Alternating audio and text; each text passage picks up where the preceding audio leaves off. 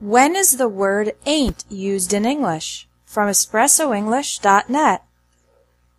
Ain't is an extremely informal, some people would say incorrect, word for isn't, am not, or aren't. You might hear the word ain't in movies or in songs like This Ain't a Love Song by Bon Jovi. That means this isn't a love song. Ain't can even mean there isn't or there aren't. For example, in the song lyric, Ain't no sunshine when she's gone, it means there isn't any sunshine when she's gone. Here's an example from informal spoken English. Imagine you have a friend who is hoping to get back together with her ex-boyfriend, but you very much doubt this will happen. You could say, that ain't gonna happen, which means that isn't going to happen.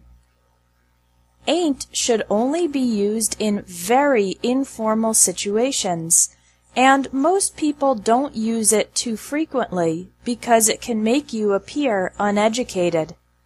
Never use the word ain't in academic or professional situations. It's not appropriate.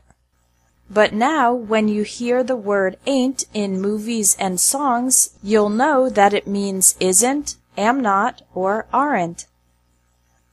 Thanks for watching English Tips from Espresso English. If you liked this video, please share it.